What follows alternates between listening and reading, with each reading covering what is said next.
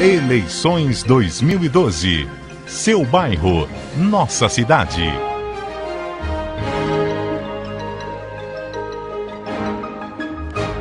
Distrito carente, onde está localizada uma das maiores favelas da região, a do Buraco Quente, Ermelino Matarazzo, na Zona Leste, tem cerca de 110 mil habitantes, segundo o censo de 2010, e precisa de melhorias nas áreas da saúde, em que o único hospital municipal tem que dar conta da demanda da população de outros bairros, assistência social, com o aumento do número de moradores de rua no distrito, segurança, com denúncias de cobrança de propina a alguns comerciantes, e cultura, setor em que não há entretenimento.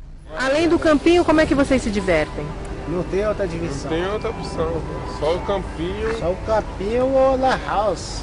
La House é. Telecentro são poucos, tem um, mas é pouco. Aqui é pouco. Biblioteca, teatro. Faltou, hein? É longe, faltou, né? hein, dona? Aqui, por aqui faltou.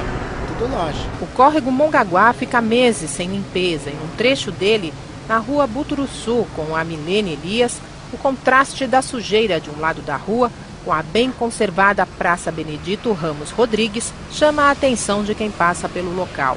Por fim, as calçadas em péssimas condições na rua Abel Tavares, onde inclusive está localizado o Parque Municipal de Ermelino Matarazzo. Elas começaram a ser reformadas para alargar a rua, mas faz tempo que as obras estão paradas, segundo os moradores.